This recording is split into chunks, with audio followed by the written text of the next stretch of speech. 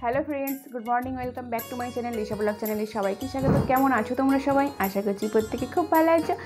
তো আজকে অনেক দিন পর তোমাদের সঙ্গে দেখা আর অনেক দিন পর একটা নতুন তোমাদের জন্য স্পেশাল ব্লগ নিয়ে এলাম। তো আজকে হচ্ছে একটা স্পেশাল ডে আর আজকে কি স্পেশাল ডে সেটাও তোমাদের সঙ্গে এখনই আমি শেয়ার করছি। তো আজকে হচ্ছে আমাদের ফোর্থ ম্যারেজ অ্যানিভার্সারি তো তোমাদের সঙ্গে দিনটা শেয়ার করব। খুব একটা সেলিব্রেশন করব না সেটা বুঝতেই পারছ, কারণ আমার ছোট মেয়ে নেই আমাদের সঙ্গে। তো খুব ছোট্ট মতো করে করছি, বাড়ির মধ্যেই একটু খাওয়া দাওয়া হবে। আর আমাদের দাদাভাই তো ছুটি নেই আজকে অফিস আছে। তো ভেবেছিলাম সানডে ছুটি দিয়ে তো সেদিনে করব। তো ভাবলাম যে না, আজকেই করি ছোট্ট মতো করে। তো বাড়িতেই হচ্ছে বিরিয়ানি করছি। আর দাদাভাই একটু মাটন নিয়ে এলো। তো মাটন বিরিয়ানি হচ্ছে। আর বিরিয়ানিটা করব। আর আমরা সকালে উঠে গেছি। তো সকালে উঠে চাটা খাওয়া হয়ে গেছে। আর অনেকটা টাইম হয়েও গেছে। তোমাদের দাদাভাই আজকে অফিস থেকে খেতে আসবে। তো ও এখন স্নানে যাবে, অফিস যাবে। আর আমি এই যে দেখো বিছানাটা গোছাচ্ছিলাম, এরপর রান্নার দিকে যাব। আলুটা সিদ্ধ করতে দিয়েছি, চালটা ভিজিয়ে রেখেছি, আর এর বক্সের মধ্যে একটা যেটা বিরিয়ানির ভাতটা ছাড়বো সেটা ভরা আছে, ওটা আমি বাইরে রাখি না। তো সেটা বের করব আর বিরিয়ানিটা করে ফেলব। আর সেরকম টিফিন খাওয়ার কিছু করিনি কারণ বিরিয়ানি করছি সেই জন্য আর অন্য কিছু করিনি। তো চলো তোমরা ভিডিওটি দেখতে থাকো, তোমাদের সঙ্গে যতটা পারব সারাদিনটা শেয়ার করব। তো চলো কন্টিনিউটা ভিডিও দেখতে থাকো। আমি চালটা ঢেলে নিয়েছি। আর চালটা ভিজিয়ে দেবো।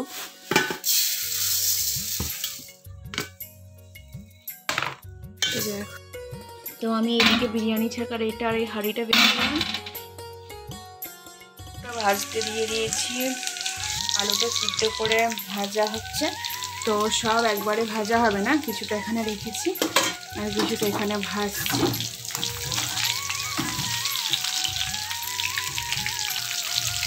নাড়াচাড়া করলে ছেড়ে যাচ্ছে। এগুলো একটু বেশি সেদ্ধ হয়ে গেছে। তো দেখো, এদিকে চালটা সিদ্ধ হয়ে গেছে। আমি চালটা কিছুক্ষণ ভিজিয়ে রেখেছিলাম। তারপরে এর মধ্যে কাঠ, গরম মশলা, এলাচ, লবঙ্গ এগুলো দিয়ে সিদ্ধ করে দিয়েছি। দিয়ে এখন ভাতটা প্রায় সিদ্ধ হয়ে এসেছে। দিয়ে দেখো। তো আমি এর মধ্যে কিছুটা লবণ দিয়ে নেব।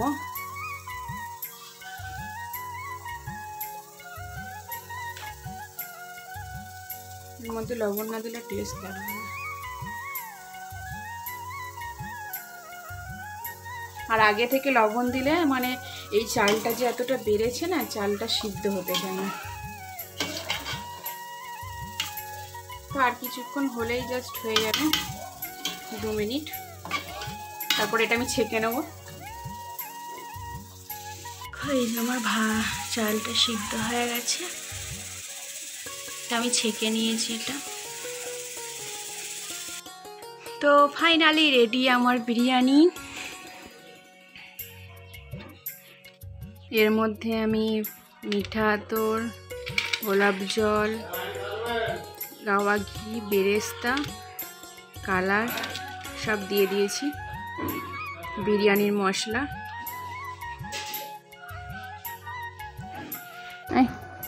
তো এখন বাজছে বারোটা, আর আমার সমস্ত কাজ কমপ্লিট রান্না বান্নাও কমপ্লিট আর এদিকে ঘরটর মোছাও কমপ্লিট আর মেয়েকে স্নানও হয়ে গেছে। এবার শুধু আমি স্নান করব। তো মেয়ের দেখো গায়ে এগুলো কি অ্যালার্জির মধ্যে বেরিয়েছে? আমি তো ফার্স্ট ভেবেছিলাম হাম অনেকেই দেখালাম তো সবাই মানে বুঝতে পারছে না। হামটাম নয় ও চুলকাচ্ছে প্রচণ্ড। আর এই ওয়েদারে তো একটু হামটাম হয় তো সেই জন্য একটু ভয় লাগছিল। তো আমি আবার পরশু দিন মানে তেল মাখিয়ে স্নান করিয়ে দিয়েছি। আর আজকে আজকে আমি মানে সাবান মাখালাম একটু তেল মাখাইনি সেজন্য একটু তোমাদের সঙ্গে আর দেখাইনি। সাবান মাখিয়ে স্নান করিয়ে দিলাম তো সাবান মাখানোর পর ভয়ে বডি অয়েল দিচ্ছি না হালকা একটু ক্রিম মাখিয়ে দিলাম। আর ওকে একবারে ড্রেস করিয়ে দিচ্ছি এখন নতুন জামা পরে কারণ আমরা মানে একটু বাজার বেরোনোর কথা ছিল। তো কিছু দরকারে। আর আজকে তো বুঝতেই পারছ, একটু স্পেশালি তো, একটু কেনাকাটা আছে। যাই হোক, আর সামনে বেড়াতে যাব। তো সেই হিসেবে বাজার বেরোনোর কথা ছিল, তো এখন ভাবছি আর যাব না, কারণ তোমাদের দাদা ভাই তো খেতে আসবে, তো একবারে খেয়ে দিয়ে বেরোবো। নাহলে ভেবেছিলাম যে আমি আর মেয়ে যাব, তো দাদা ভাই তোমাদের আসার সময় নিয়ে চলে আসবে। তো আমি ফোন করে বললাম ওকে যে কি এখন যাব নাকি খেয়ে দে। তো আমি ভাবলাম যে খেয়ে দিয়ে গিয়ে গেলেই বেটার হবে। তো সেই জন্য মেয়েকে স্নান করিয়ে দিলাম। আমি এবার স্নান করব তোমাদের দাদাভাই খেতে আসবে। তারপরে খেয়ে দিয়ে একসঙ্গে বেরিয়ে যাব। ও অফিস চলে যাবে আর আমি মেয়ে কেনাকাটা করব। তো মেয়েকে সেই জন্য একবারে ড্রেসটা পরিয়ে দিলাম এবার খাইয়ে দেবো। আর ও একটু খেলা করবে তো তারপর আমি স্নান করব।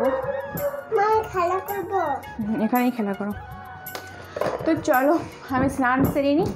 আর তোমরা ভিডিওটি দেখতে থাকো। তো আমারও স্নান হয়ে গেছে আর ফাইনালি আমাদের লাঞ্চ রেডি দুপুরে তোমাদের দাদাভাইও খেতে চলে এসেছে। তো খাবার দেখছ একবারে রেডি করেই রেখেছি। আর ভয়েসটা আমি পরে ঢোকাচ্ছি। তো একটা কথা বলছি যে একটা জিনিস এখানে মিসিং সেটা হচ্ছে চাটনি। চাটনিটা এখানে খাওয়াও হয়নি আমাদের, আর এখানে রাখাও হয়নি। তো বিরিয়ানি আর স্যালাড আর কোল্ড ড্রিঙ্কসটা নিয়ে এসছে তোমার দাদাভাই অফিস থেকে আসার সময় খেতে আসার সময়। তো চলো খাওয়া দাওয়া করে আবার বেরোতে হবে বাজার।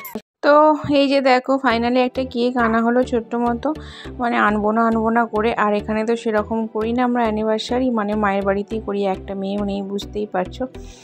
তো বাজার সেরে আসার সময় এই একটা কেক কিনে নিয়ে আসা হলো।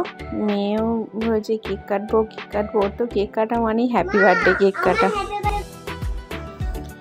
তো দেখো, ক্যামেরা করার কেউ নেই, স্ট্যান্ডে লাগিয়েছি। আমাদের তো ফ্যামিলি মেম্বার বলতে এই তিনজন, আরেকজন নেই, ছোটো মেয়ে, ওকে খুব মিস করছি। তো মায়ের বাড়ি গেলে আমার ভাই বোনরা থাকে, ওরা ক্যামেরা করে দেয় মানে ছবি তুলে দেয়। তো এখানে ছবি তোলারও কেউ নেই, ক্যামেরা করার কেউ নেই। সেই জন্য স্ট্যান্ডে লাগিয়ে নিজেরাই যতটা পারলাম করলাম, তোমাদের সঙ্গে শেয়ার করলাম।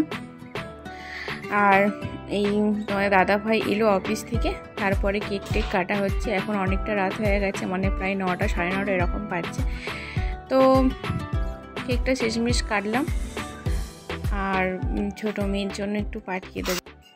ও তো নেই ওকে মানে ভীষণ মিস করছি, আর মানে ও থাকলে হয়তো একটু আনন্দ হতো। ওকে বলেছিলাম আসতে, তো ও তো একদম আসতে চায় না এখানে যেন, আর আমরা যাব বলে সেই জন্য আরও জোর করিনি।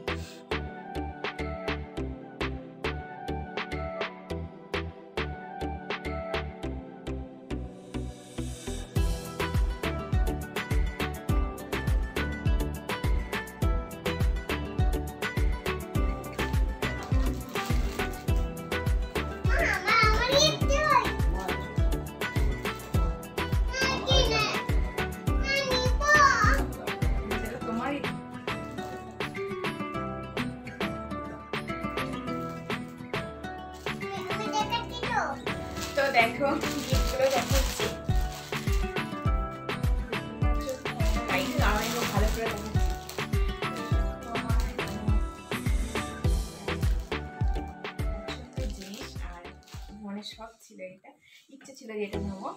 দাদা এটা অ্যানিভার্সারিটা দিল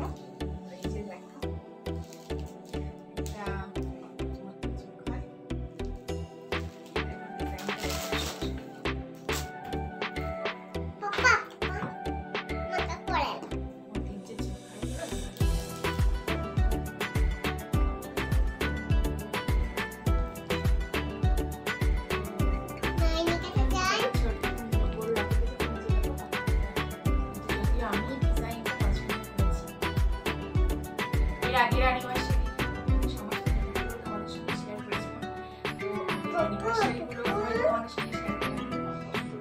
কারণ তখন আমি হয়তো আসিনি তো এই অ্যানিভার্সারিটা তোমাদের সঙ্গে শেয়ার করলাম। তো এটা হচ্ছে একটা গিফট আর এর সঙ্গে একটা শাড়িও আছে। দাদাভাইকে আমি কিচ্ছু নিইনি। পরে দেবো।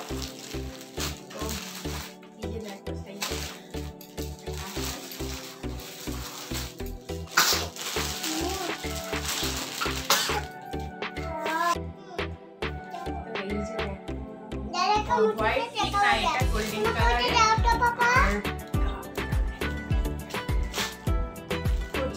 আর আঁচলটা রেড আছে।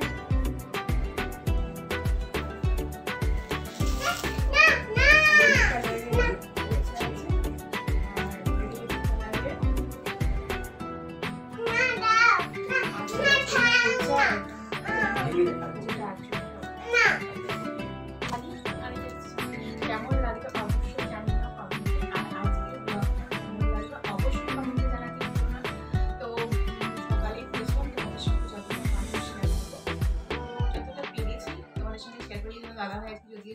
না তো ওর সঙ্গে সারাদিনটা আমি টাইমটা কাটাতে হয়ে এলো তারপরে আমরা তো আমাদের এই ছোট্ট সংসারে ছোট্ট মতো আয়োজন আর ছোট্ট মতো সেলিব্রেশন করলাম। আর আমার একটা না। আমি না। ওকে নিয়ে আসব বলেছিলাম আর আসতে নিয়ে আসা